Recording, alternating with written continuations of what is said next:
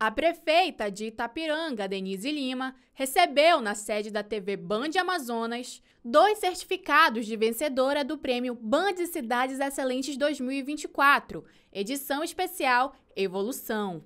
No pilar Desenvolvimento Social e Ordem Pública e na categoria principal, para cidades de 30 mil a 100 mil habitantes.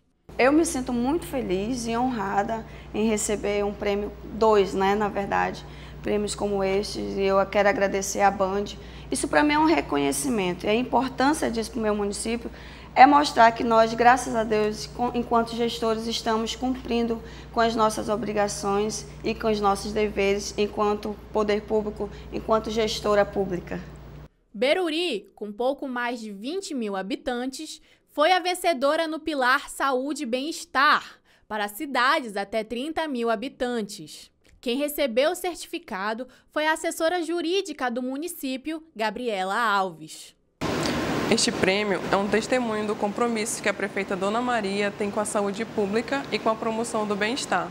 Os investimentos em infraestrutura de saúde, programas de prevenção, iniciativas de promoção de uma vida saudável têm gerado resultados significativos e esse reconhecimento é uma prova disso.